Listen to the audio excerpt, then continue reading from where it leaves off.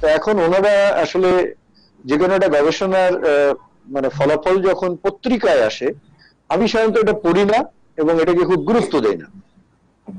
কারণটা হলো কারণটা হলো এই, কারণটা এই যে আসলে পত্রিকা দেখে হলো যে হোয়ার ইজ দ্য স্টান চমকটা কোথায়?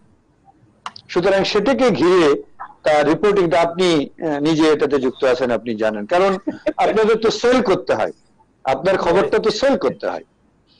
সেই জন্য এটা সাইন্টিফিক জার্নাল ছাড়া আমি সাধারণত ওটাকে পড়ি না। ওটা থেকে আমি কোনো মন্তব্যে যেতে চাই না। কেন যেমন ধরেন আপনি ব্র্যাক কিছুদিন আগে যখন বলল যে তিরাশি ভাগ পজিটিভ হলো মানে সাউথ আফ্রিকান ভেরিয়েন্ট আমি এটা বিশ্বাস করিনি। আই ডিডন্ট বিলিভ যে হতে পারে না। পরে আমি দেখলাম, ওরা হয়তো পনেরো জন, বিশ জন, পঁচিশ জনের টেস্ট করছে। তা সাউথ আফ্রিকান ভেরিয়েন্টের মতো একটা পাওয়া গিয়েছে। কাজে এটা সাউথ আফ্রিকান ভেরিয়েন্ট না।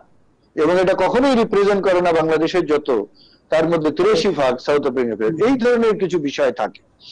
তো যাই হোক, যে, যেটা আপনি বলছিলেন মাস্ক নিয়ে, এটা হলো আমার মূল্যায়ন।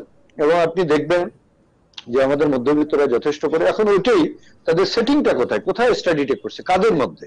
Who are the population among whom they did the study এইটা দেখলে ভালো করে বুঝলে তখন বোঝা যেত যে ওনারা কোন অ্যাসপেক্টে বলেছেন যে বাংলাদেশের মাস্ক পরা খুব ভালো।